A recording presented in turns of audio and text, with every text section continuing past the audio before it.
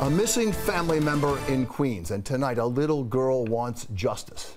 The victim is a scarecrow, handmade by the girl and her Girl Scout troop. The thief caught on camera on the front stoop of the girl's house, stealing what she had made.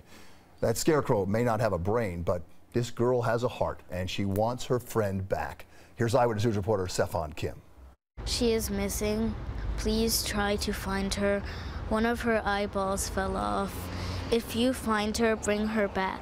It is a missing persons poster like you've never seen before. This sketch drawn with crayons and heartbreak. Me and my Girl Scout troop made her with love. She has a red, black, and white gray top, and she can't stand, she can only sit. This is the scarecrow eight-year-old Gabriella Murga made with her Girl Scouts troop for Halloween. There's some hay here that It sat on her Bayside porch for trick-or-treaters to see.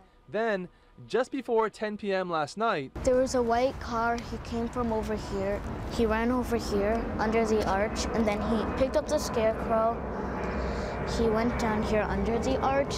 He was running. The head's not attached on so well. It fell over there somewhere. in such a hurry to kidnap the scarecrow, they had to come back minutes later for its head. I was really angry and sad that a grown man took the scarecrow. I thought it was like teenagers, and then that would be not as bad because Right. they're just being kids. You know, it meant a lot to them because they could show it at their school party. It was one of the decorations at their school party, and they had a lot of pride in it.